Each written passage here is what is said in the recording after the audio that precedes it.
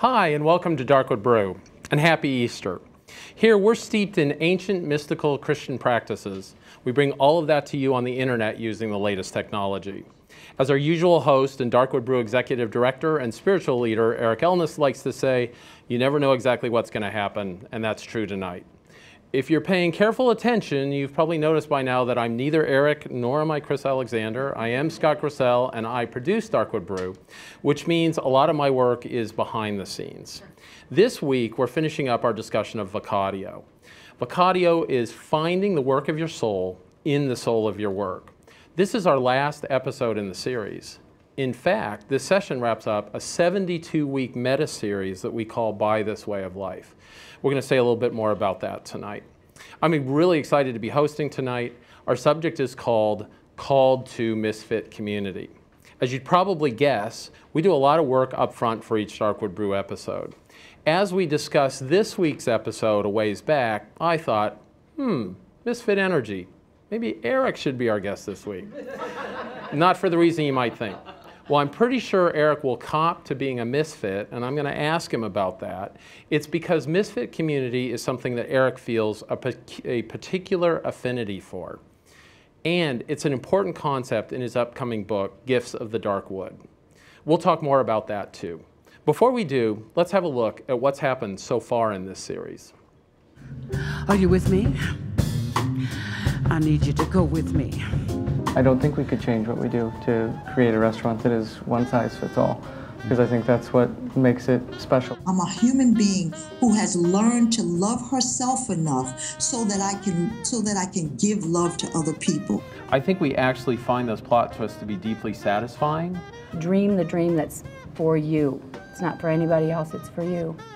The improvisational nature was so much like the Spirit of God working in us you also love Korean food. Yes, I did. There's a yes, story about being on one of these great big fishing. Oh, don't tell boat. that whole story. That'll oh. take too long.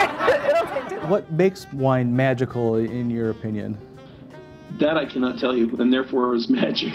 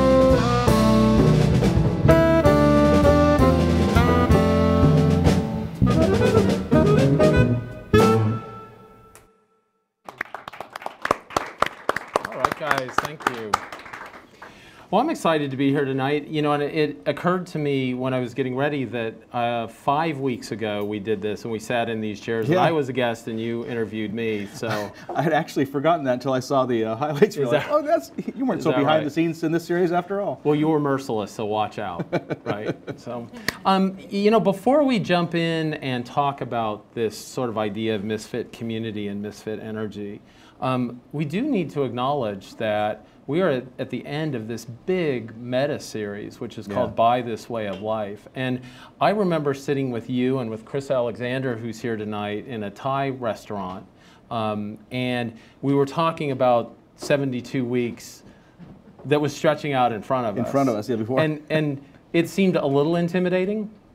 So, so now, looking back, it's like, wow, we did that. Yeah, it's pretty amazing. It's gone so fast in, in so many ways too, but it really did seem incredibly intimidating to embark. Like, what if you realize when you're like a quarter of the way into it, like, oh, this just isn't working.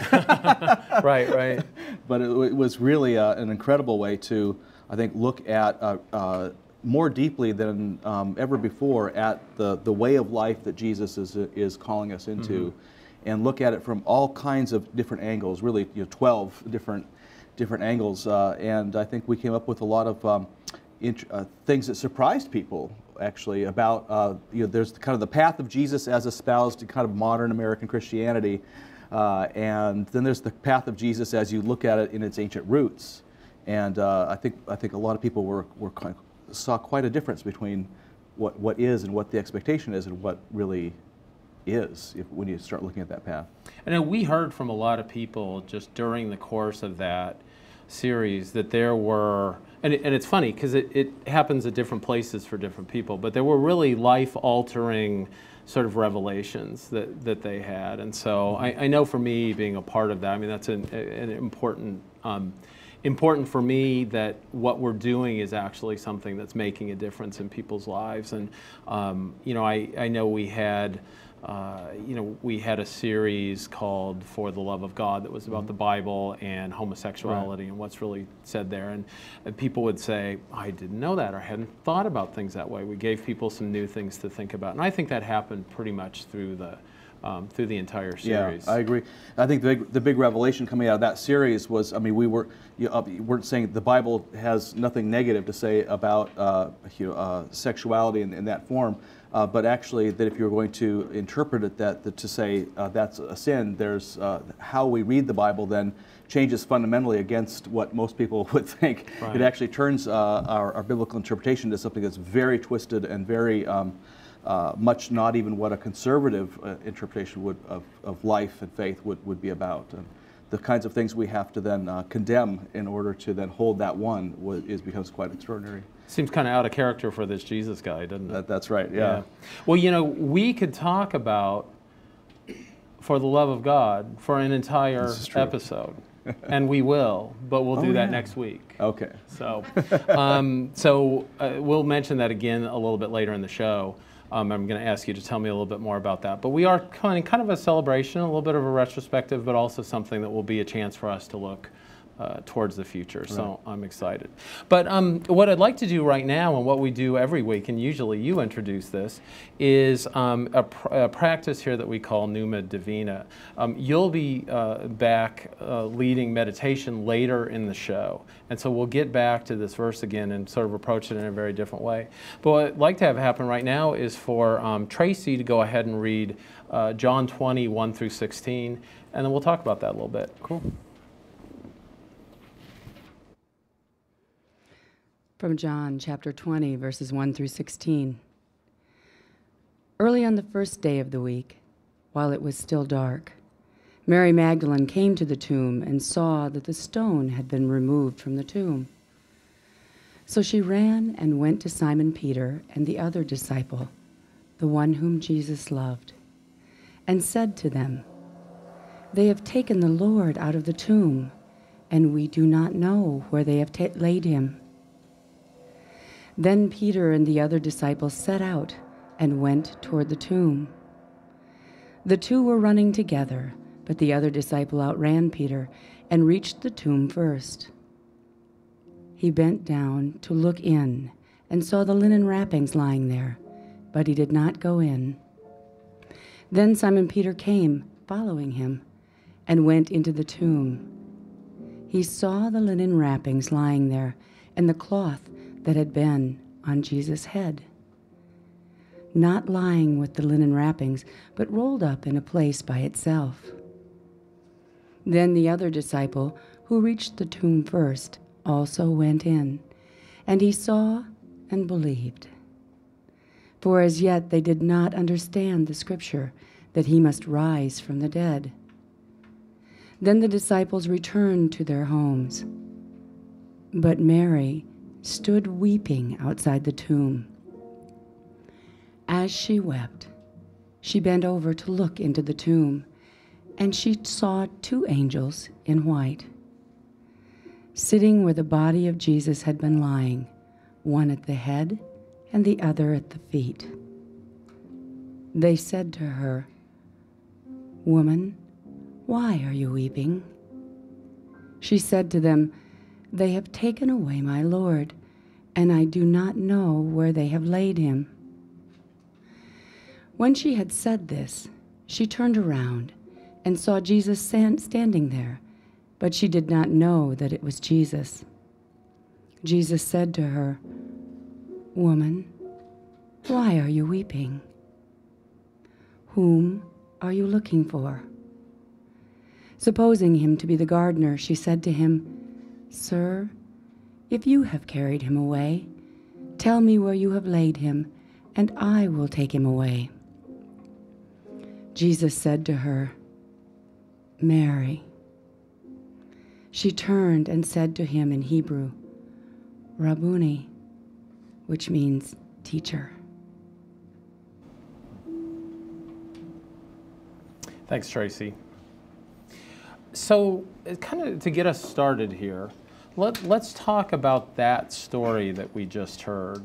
Um, as it would come to us as a story about misfit community, mm-hmm. about people who don't quite fit in, about people who feel like the world has just tilted on its axis a little bit. Um, where, where do you find connection in that in this story to that kind of energy? Yeah, I, I see uh, misfit writ, written all over mm. the, the uh, John's uh, gospel accounts of, of, of, all of the post-resurrection uh, uh, experiences. Uh, this one, um, I think, really um, kind of brings kind of, I would say, the trifecta of misfitism together. Mm. You know, I've, I've, always felt that the church of the misfits, or the, really the highest expression of the Christian community is to recognize it's a church of misfits. And what I've always meant by that is that that we're misfits, we recognize that we're misfits with respect to God's realm, in that we never live up to the ideals um, and the aspirations and the hopes and dreams that we ourselves are even proclaiming so loudly. Uh, we're automatically hypocrites in that, in that respect. And we realize that we, therefore, there is no grounds for self righteousness uh, within our community and also between our community and people who are not Christian. We're also, um, though, misfit uh, in the sense that when on those rare occasions when we actually do live into those ideals and we actually do follow, well, then we become misfits with respect to society, who generally doesn't don't recognize those those very ideals. But in this in that particular text, I think there's another important kind of facet of misfitism that is related, uh, but could be said a little differently. Uh, Mary is someone um, like any of the disciples who is misfit in the sense that she, it is absolutely as clear as a bell. There's no, there's no shadow of doubt in her mind that without Jesus, um, there is no hope for her. Mm-hmm. that uh, that the life really has has no no meaning to it at all, and she and that's what really brings her to kind of ground zero um, uh, of her faith. It's like. You know, how can we go on? And curiously enough, um, when you look at those gospel accounts in any of the gospels, the only people Jesus um, appears to are those very ones who, who are convinced that life is, has no meaning without Jesus. And you think, well, this is kind of strange actually, because you know, if Jesus is resurrected, you think, well, why not appear to Caesar or to Pontius sure. Pilate or to the Pharisees or Sadducees or scribes or to Herod Antipas or any of these people who were actually involved or had any way thing to do with his crucifixion or who could change the entire Roman Empire, you know, would save Christians 300 years of persecutions for starters if he would have just appeared like that or in the middle of Jerusalem Square and um, you know showing, hey, I'm here, I'm back. right, right. Uh, but he doesn't, and and that's been a, a ground course. I mean, in fact, yeah. he shows up as somebody who looks like a gardener. Yeah, that's right? he can be mistaken for a gardener. Yes, right? that's yeah. That there's all we could go on for about an hour about uh, that. That's a very intriguing one. I mean, suggesting that Jesus does uh, comes to us then post-resurrection as Holy Spirit, as, but we don't always recognize him then because he's he is it, he's the Spirit of the living Christ. It's uh, he is that's his fullest identity, and that also ensures that he is always with us. He's always resurrected hmm.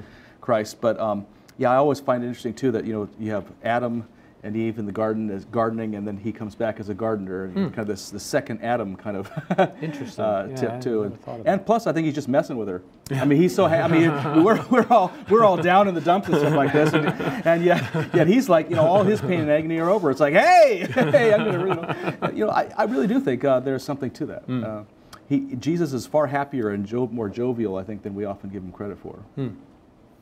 Would you mind if I read something from your book and then just asked you to comment on it? I'm always happy to hear what I've written, I thought you might especially be. if I don't have to write anymore. All right, so I'm going to do this with my glasses on. So this is this is from your book, um, which will be coming out um, soon, called "The Gifts of the Dark Wood," and um, this is from the chapter that's called "The Gift of Misfits." And I I'm going to read you a couple kind of short paragraphs in there, and then we'll we'll talk about what they mean to you, or you can expand on that a little bit. So, you say if, if we enter the dark wood alone and stay there alone, the odds are stacked against us that we'll be that we will be back at the adversary's taverns in no time, drinking and worshiping at the cult of the mediocre. I like that, the cult of the mediocre.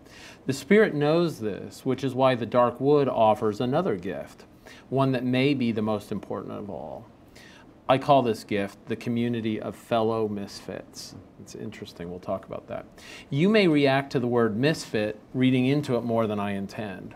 What I mean by misfit is someone who is being as intentional as you are about embracing the gifts of the dark wood and finding their place in this world, if not more so. These are comparatively rare individuals in a world absorbed by materialism, mass market consumerism, religiotainment, and quick fixes. Yet there are more than enough of these misfits who swim against the current to find small community even in the smallest of towns. If you're not aware of them, you haven't been looking, or you've been too certain that you can't find them to send out any signals that you're interested in their company. So tell me about these misfits out there. And one of the things that you say is that we might, when we hear the word misfit, we might misinterpret to some degree what you mean by that. And, and yet, um, it still seems like a great way to describe this energy that you talk about in your book, and I know you, you talk about personally a lot too. So just tell me a little bit about who are these people? Well, uh, really, there are people who uh, kind of like like Mary. Uh, they may have not speak of this in the same language, but they recognize that life is kind of it really is hopeless under their own power and authority. Without you know, they just can't make it through the dark wood uh, alone under our own power and authority. It's it's dark in there. Life is full of uncertainty and full of uh, mystery and emptiness and lostness and, and so forth. And that there's something about the soul's work in the world where we can we can get along, you know, kind of okay, just to we can live, we can we can make mortgage payments as we have kids and so forth that that will kind of do something for us. But there seems to be part of the work of our soul that is actually essential that we uh, reach a bit deeper uh, with ourselves to find uh, the voice of God, uh, who is actually uh, helping us to come that comes from outside of us and yet is deeply inside of us at the same time and is capable um, uh, and, and interested very much in guiding us. Uh, and it's a voice that loves us beyond what we can know and helps us orient our lives according to that, that discovery that we are loved. And so there, there are all kinds of people out there uh, who um, are trying to sense spirit in their life. They're trying to discern. You kind of ask, you know, uh, uh, how am I being guided? And yet not in the ways of kind of kind of the, the mass media might uh, expect. You know, like, you know, a lot of people think you think that to hear some people talk about the Holy Spirit guiding them, you think that you know the Holy Spirit told me to buy this brand of hot dog versus the other, and go to this parking place versus the other, and so forth like that. But these people t- tend to be uh, folks who um, have a sense of it's all about following the Spirit, uh, but also have a humility with respect to, to how much we can actually know about the Spirit, and, and are always asking that kind of postmodern question that I, I once heard from Phyllis Tickle. It was the Holy Spirit speaking or, or the pizza I just ate. Right, right. You know, they're recognizing that we are, are uh, kind of tuned to hear, or kind of respond to different influences in our lives. But there really is a God who really is active and really is able to, uh, to guide us through that, those still small voices. And so there are all kinds of, but that's, those are misfits in, in, in, in the world, uh, really. And there are individuals, there are communities, there's small groups, there are communities of faith. So this, um, you, you talk about kind of hearing the voice of spirit, and that that, um, that, that probably manifests in a lot of different ways for people, or can manifest in, in different ways. Um, do you? Is there is there a sort of coherence to that as you as you look around? I mean, do you see that um, when people seem to be tapped into this voice, these misfits, that um, do they act a certain way? Can you tell by looking at them? Do they have spiked hair? What what is it that that helps you, or can you and I even know these misfits? Do they have to jump out and tell us? Like, how do we know this community? They tend to be about six foot two, have dark hair, uh, big uh, glasses, uh, wear brown jackets. Exactly. yeah. No, actually, uh, they are extremely diverse, uh, as diverse as the human race is diverse. But there does seem to be kind of a, a tenor and tone I, I, pick up on people who are uh, who are constantly seeking that connection and, co- and constantly, in my understand perception, connecting with that. There tends to be a, a, quite a generosity of spirit hmm. is, is one of the ways that right. characterizes them. Uh, a whole lot of grace, and I had the feeling that that uh, people who, who do tap into this are you know, they feel like misfits. They are misfits. They themselves feel like they're misfits with respect to God's realm. That, that, that, this realm is so much greater and so much bigger and so much more beyond what we can imagine that we're always just kind of looking through a glass darkly. And so there are people who um, actually aren't are the, about the last ones to take these high horse moral stands. Uh, you know, in, at least anyone that would exalt themselves over their fellow peers. They may take you know, strong stands for justice and, and morality in that sense uh, but always from a standpoint of, uh, of, uh, of, humility with and, and, also, and, and realizing that we're all part of one kind of human family. So consequently, if you're, if, uh, one of the forms of misfit I think that's important, for instance, is a, is a mentor figure, someone who, you know, oftentimes you may you know, point, they seem like people you might want to be when you grow up one mm. day. there are people who have spent a little bit more time in the dark wood than, than you have perhaps and are used to negotiating around the, the, the pitfalls and the you know and, uh, and, and, and the stumbling points. And uh, they can listen and, and one of the things that characterizes a good misfit mentor is someone who can actually listen to you without judgment. Um, they're not always asking well you thought that? What? You know or you did right. that? What? You know they're actually they're, they're taking it all in and, and there's no sense that anything you're telling them um, is, is causing them to feel that way. They're not just biting their tongues, you know, right. but actually um, they have a deep enough sense of their own um, uh, selves that they, can, they hear everything you have to say and take it in or actually listening uh, more, than, more than talking. And mm. then you come out with those, you know, have you seen it this way? Have you mm. seen it that? They don't have to be tremendously wise.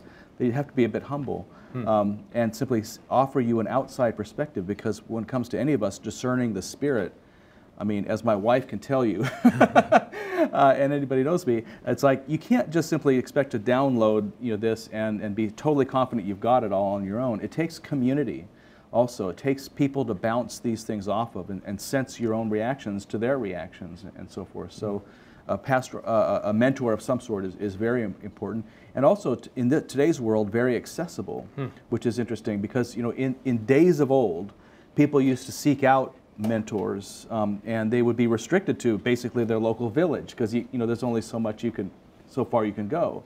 But now that we have the internet, we have you know Skype connections, we have telephone, all these things. Your mentor, um, you're not restricted to your local village anymore. You're actually the world. You can you can actually look throughout the world and say, who would I like to be when I grow up, or who who kind of inspires me that way? Maybe I can connect um, uh, with them. And so consequently, for the past uh, oh, about 20 of the last 33 years, my own mentor, um, and I have lived 1,800 miles away. Mm. And uh, I've checked in with, with him uh, once a month by phone or by Skype. Mm. So you you identify in the book too a couple other kinds of misfits. So there's there's or members of misfit community or people who have this misfit energy. Can, can you tell me about the other two? Mentors being one. Yeah, yeah, and it's yeah yeah, and then so then the, another one is uh, would be a small group.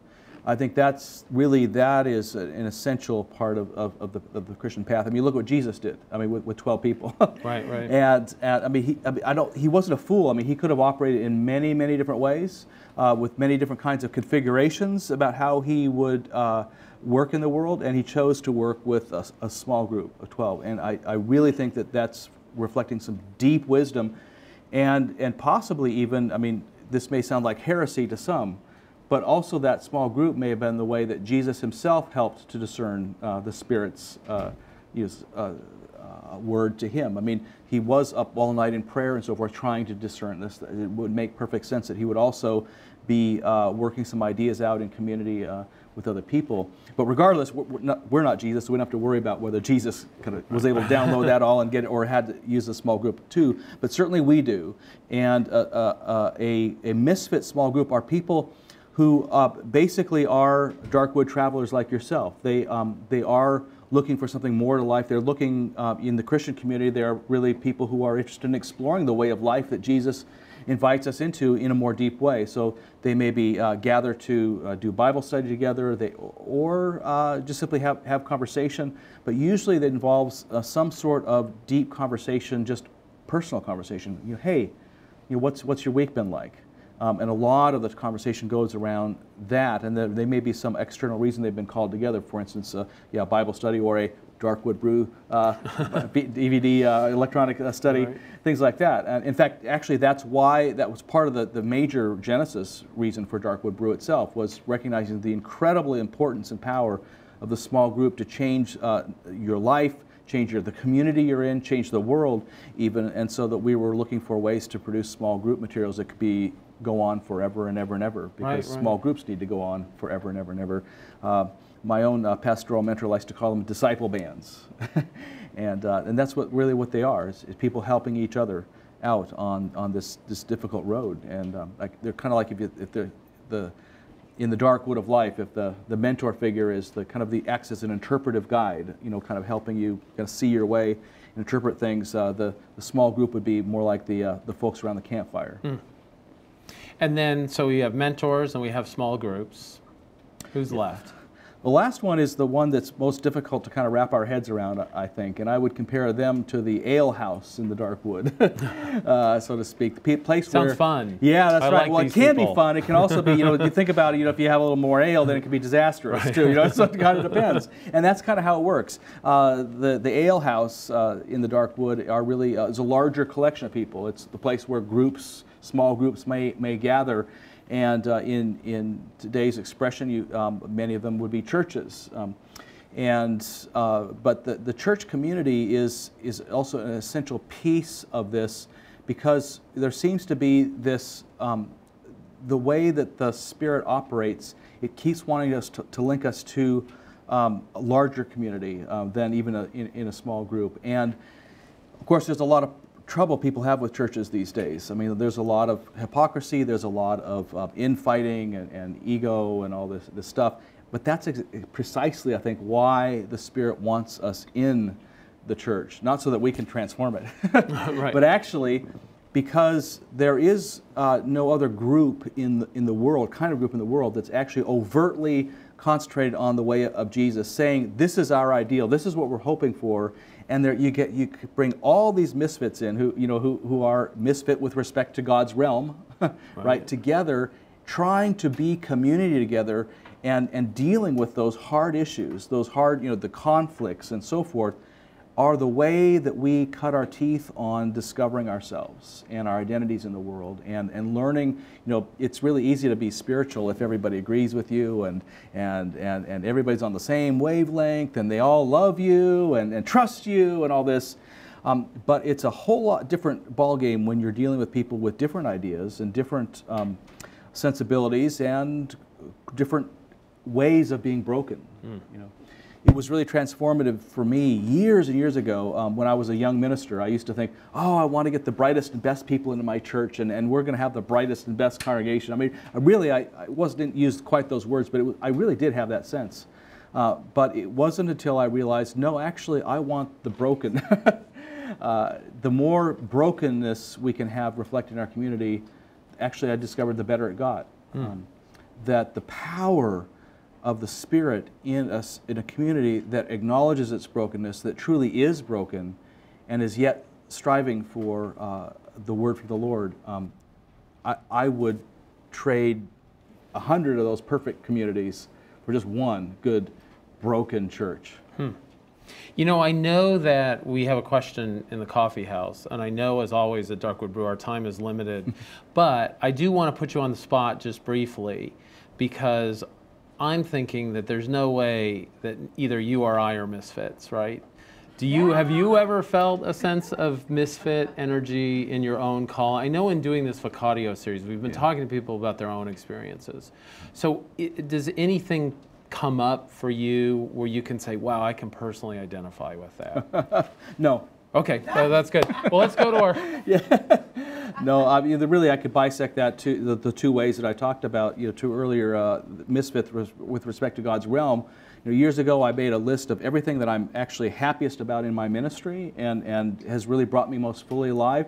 And it was devastating when I realized that every single one of those things um, had something directly to do either with something I, I opposed at first, said, "Hell no, I'll never do it," and then had an awakening, you know, and repentance, and did, did it, or was a result of some failure that then opened me to a new awareness and, and, and life in, a, in another direction. Um, one of those those two, um, and so there is that that, that brokenness very much. Um, I embrace that that brokenness rather than kind of skirt it off. It, It's actually it's helpful for me to s- try to see my life as clearly as possible with a with a clear eye and that you know, realizing that the truth is our friend. You know, and so even if the truth hurts, it's actually uh, is our friend.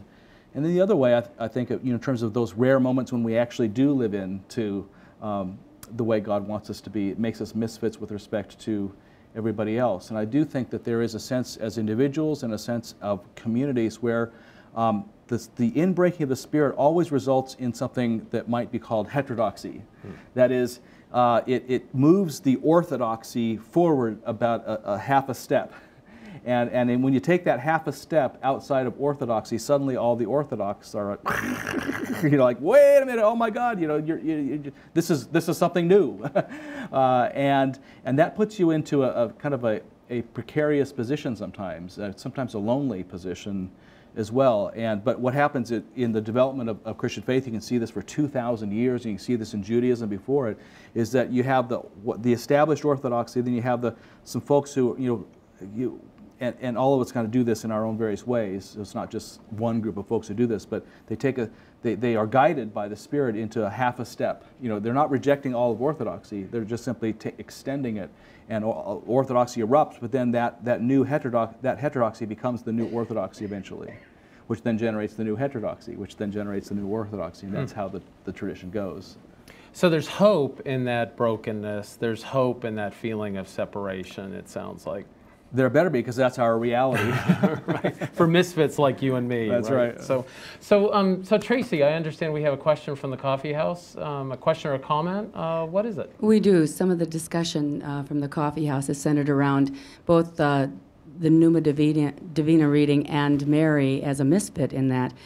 And, um, and part of the uh, comment question that, that arose from that why would Jesus and the angels, who are so close to God and who would then know answers to larger questions, ask a rhetorical question like, Woman, why are you weeping? yeah, it does seem like be the the world's dumbest question. right, right, right. And since you know the mind of God, Oh, why don't yeah, you yeah. tell us? No, more dumb questions. Yeah, that's right. Uh, Maybe it's good we're wrapping this series up. that's right. Right. Yeah. Well, I mean, my personal take on that, yeah, is it like it, it's so dumb, so obvious that anybody's going to say, "Well, what the heck?" you know. But I don't think that question is actually is, is in there for Mary's uh, benefit. It's it's actually uh, for ours. Uh, but even looking at Mary, I think that what this kind of the mythological imagination of, of the of the of the story is trying to tell us, and by that I mean the story um, is not simply trying to describe what happened 2,000 years ago, but also um, the, the the points of this. I, have, I mean, not all the stories told, and, and what is told is really also pointing to what always happens time and time again. And it seems that, that when we're at ground zero of our own faith, when, when we have lost all hope, the first call of the Spirit is not simply to say, oh, comfort, comfort, comfort. It's actually to say, why are you weeping? It gets us into ourselves asking, well, what are the things I'm weeping about? Uh, uh, when I, we look at our world today, for instance, I mean, that's a good question for any of us, is why would we weep in today's world? You know, what, are, what, what causes our, us to kind of lose sense of that, of that hope? And, we, and until we can kind of get to that, we, the Spirit can't do a whole lot for us to try to, to, to solve that, you know, that, that issue. And, and so I think that that's, that's part of the reason is to simply throws the question back at us. You know, why, why, are, why are you weeping? Hmm. Uh, what, what, are, what are those things that are so profoundly disconnected that you really uh, can't find your way to hope without bringing some semblance of, of order or meaning, meaning to that? I mean, today I think a, a, an extremely good um, way of posing that question, I mean, looking at that is, is, it, is we look at the way that technology has democratized the instruments of mass destruction um, uh, and the way the technology has uh, created the, really the mechanisms of unchecked consumption um, of the world's resources. Um, you know, it's surprising how many people today, you know, wonder, will, are we really in kind of some of the last generations to actually, uh, on Earth, to actually mm-hmm. know life as we know it? I mean, do, do we have 100 years left, uh, 200 years before either we blow ourselves up or global warming takes over or what have you? And, and you know, the, the, the, fundamentalist understandings of Christianity used to say, well, yeah, the world's coming to an end, uh, but, and we need to fear God. It's like, well, no, I, I, they may have had the sense that there is an end, but it, it's not God we need to be afraid of in that sense of wanting to end the world. It's ourselves. You know, and boy, you know, if we take that, that seriously, um, there's a lot of weeping to be done. Why are you weeping? What? And then, but also that's, if the story is correct, when we get to that center of our weeping, that's also the exact place where the Spirit is able to meet us and do a new thing that completely confounds our ability to understand and completely takes us to a new place where there actually is real hope. You know, um, before we take a, a, little break and then come back and do some business, uh, one thing that just occurs to me as we're talking that seems like it's worth saying is that, and, it, and it's interesting that we are at the end of this meta series, that this that these people in misfit community uh, seem to me to be relating to um, what Jesus might have put out there as those three loves of God, of love of God, love of neighbor, and love of self, and using those as sort of the compass heading. Yeah, there is a, a very um, interesting correspondence across uh, faith traditions, um, uh, you know, denominations, and so forth. There seems to be, um, uh, when I look out at the world and see kind of the communities of faith that, that are most vibrant, most excited, most uh, generous spirited, uh, most happy, um, even in their brokenness um, they tend to be communities that, that take that basic thing that Jesus said. You know, when, when he was asked, What's the most important commandment? He said, Love the Lord your God with all your heart, mind, soul, and strength, and your neighbor as yourself. There are actually, um, you know, there's three great loves there. We often think of them as two. I mean, love God and neighbor, but Jesus says, Love your neighbor as yourself. Uh, and, and so there's the self that needs to be taken seriously too, not being uh, self centered uh, in that sense, but actually uh, recognizing that God has created you with a distinct identity and a beauty, um, and that needs to be taken seriously because you are part of God's creation. You need to treat yourself with as much dignity as you treat the bush mm. and the tree and the forest and so forth. Um, but these communities that seem to be uh, kind of spinning in a similar vibe uh, right now tend to be the ones who, who take all three of those loves together and say they must go together in any of our actions that you can't settle, settle for two out of three ain't bad. So like I'll love God and myself, but not my, I'm going to care less about my neighbor. Or I'll love God and my neighbor, but care less about myself. Or I'll love my neighbor and myself and forget God in the equation. Right. That all three need to come together, that any organic community that's actually following the Spirit tends to, you can look at their actions and all three um, uh, are, are, the focus of that love. Hmm. Well, thanks for giving us a really different way to think about misfits now. I think when I hear that word, I'm going to take it in with some real different sort of connotations to it. Well, my, my pleasure. And uh, you know, whenever I think of misfit, I always thought of you. So you're not the only person. So um, you know, let's listen to a little bit of music, and when we come back, we'll do a little bit of business. And I think after that, there's going to be some meditation happening. Sounds good.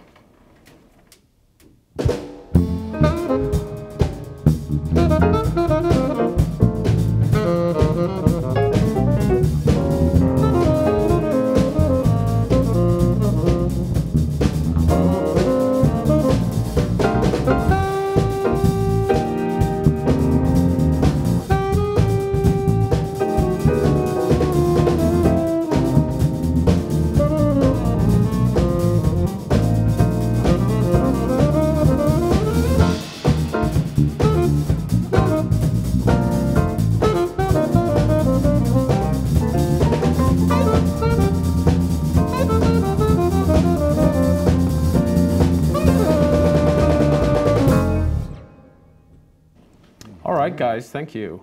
So um, we had uh, Bob Ravenscroft and the Inner Journeys trio on the show, part of Yeah. Vocatio, um, three weeks ago, I think Yeah, I that think so, was. And they're going to be here at Countryside uh, Yeah. coming up soon. Tell, And- tell us about that. And we'll be streaming them over the Darkwood Brew uh, site. Yeah, during uh, Lent, we were uh, engaging in a series of, of uh, ex- uh, kind of a season of exploration of different ways to do meditation, especially for those who have a hard time doing meditation. And we used some music that was uh, about the last you'd ever associate with meditation, but actually it ended up turning all kinds of people on to. Uh, to meditation itself, um, and that was music supplied by the, the Inner Jour- Journeys Trio. We had a tremendous time with that during Lent, and we're, we are actually going to be joined with them uh, live in, in, the, in the sanctuary of Countryside Church, and we'll be streaming that out to the community. So if you missed Spirit Lab, or if you were part of it and want some more, uh, we'll be, we'll be uh, offering their music and some meditations uh, on Wednesday night at 7 p.m. Central and 8 p.m. Eastern. And how would you characterize their music? I mean, it's really different. Some people might not even approach it musically to begin with, and, Yeah. just the way that they take it in. So, what, what if somebody hasn't seen Sure. them on Darkwood Brew? Tell me a little bit about what that's question. like. Well, its root form is jazz, um, but it's it's really its expression from that root is highly improvisational music. Uh, some uh, have called you would call it avant-garde or free jazz. So it's it's a lot of uh, it's really like like a bunch of uh, like three musicians having a really deep and involved conversation with each other, uh, but not using any kind of musical score that has been written out in advance. And so one advances a thought, and the other says, "Oh, that's interesting. I'll pick up this." You know, it- it- it's like that, except they have instruments where they're doing it. It's it's really fascinating. I, it blows my mind. I can't understand how the mind must work to be able to do that. But it's um, it to me, their music has always been kind of you can't predict where it's going, where where it's where it's coming from. It's kind of sometimes even seems chaotic, but there's this deep stillness right in the heart of it uh, this this stillness, this center to it that has always, for years now, has helped me in my own meditation. So you have this wild music going on, but you're feeling actually, you're sensing hmm. that stillness within yourself, which is where oftentimes I think the Spirit speaks with its clearest voice. Hmm. Well, I hope you'll forgive me for the next thing I'm going to bring up, but we have a four part series after next week on. Oh, that was bad. Forgiveness. There you go. That's right. Yeah, four, four, four episodes on forgiveness. You'd think that we could just cover it in one, right? Forgive Right. and forget. That's Right. it, right? Know, that's or two, forgive, forget. Oh, that's true. Yeah, go. yeah. Except that's the exact wrong uh, way to forgive. That that has nothing to do with forgiveness. Has nothing to do with forgetting in, in that in that sense. Uh, That's one of the most misunderstood concepts within Christendom is the concept of, of forgiveness. So somebody does somebody wrong, and then you say, "Well, where I'm Christian, I must forget that," right? Um, actually, no. There are times where you're not supposed to forget that. Actually, and there are ways of, of where forgiveness, if you if you walk the path correctly, um, it, it then resets the relationship to a complete zero point, like as if it never happened. So there is a f- deep forgetting, but only after some things have happened. So we're going to be exploring those things that, that way. Jesus says, you know, if, if somebody wrongs you, you need to forgive them, what, 70 times, seven times. But he also says, if you, uh, he, you unless there is repentance, otherwise there is no, no reason for forgiveness. In fact, you're not supposed to. Uh, they're like, wait a minute, that sounds kind of harsh. Well, no, it's actually about the most loving thing we can do. and We'll be exploring those, those kinds of things, those, those tough edges. Wow. So uh, there are a lot of ways that people can support Darkwood Brew as we move into the future, as we move out of this 72 week series, as we look at what we're going to be doing and some of the exciting stuff that we have coming down the road. Can you, what are some ways that people can make, can help us make that happen? Yeah. Well, one, one way is we've just set up a new program that, that, that the more you donate, the, the greater forgiveness you'll receive. So that's, uh, I think I need to give a lot. that's right. I was going to suggest an amount for you. it's higher by the moment. Uh, uh, no, but, but we seriously we do uh, appreciate that very much. Uh, it, takes uh, it takes money to, to put us on the air. This is not uh, funded by Countryside Community Church, even though it's streaming out. It's stream, it is funded by you, uh, the viewers, and so uh, we we really appreciate your support. It means a lot to us, and it keeps us coming coming coming to you. That's that is a, a primary way you can help us out. Uh, another way you can help us out this week is we'd love to hear from you on the Facebook page. Uh, if you have, uh, if there are ways that this, the last two years of series, or any way that Darkwood Brew has touched your life, uh, any kind of uh, uh, insights, aha moments, awakenings, or actions even that spurred we'd love to hear from you because we'd like to, to feature some of those comments next week on the program. Great. Well, we're going to go to um, Steve Gomez, and, and he's going to introduce the Bruise Brothers here shortly. One thing I want to do when we come back, um, I'm handing the reins back over to you. Um, and we're going to be, yeah, there you go. And we're going to be um, in the meditative portion of the show. So, what are some things that if people are watching at home that they can do to get ready for that part of the show? Uh, good, good question. Uh, yeah, uh, if you're at, at home watching this, whether it's on the recorded version or live, um, we encourage you to kind of bring your computer to a, a, quieter place, perhaps, if you're able to. If you have a laptop, put in some earbuds, perhaps. Uh, although we uh, we just kind of want to get to a place where we're actually, uh, one of the, the, things we do here is really try to connect with the Holy Spirit. And so we need to kind of clear out as much of the, the, the, the noise around us as, as, possible. We also invite you to uh, collect communion elements. If you'd like to join us, we always uh, culminate our program with, uh, with the sharing of communion here in the coffee house and also across the world. So if you have bread and wine or juice and crackers or something you'd like to to come and bring to the table uh, and enjoy with us, uh, we invite you to get that also during our, the break. Hmm. Well, before we clear out the noise, maybe we should make some. Make some, absolutely. So, so Steve, why don't you um, tell us who's here with the Bruise Brothers? And we've got a special vocalist tonight, don't we? That is correct. Thanks, Scott. Uh, Matt Amendis on piano, Carlos Figueroa on drums. Jorge Nila on saxophone, and of course, Miss Carol Rogers on vocals. And she's going to be singing Jesus Shall Reign and then Fairest Lord Jesus. Thank you.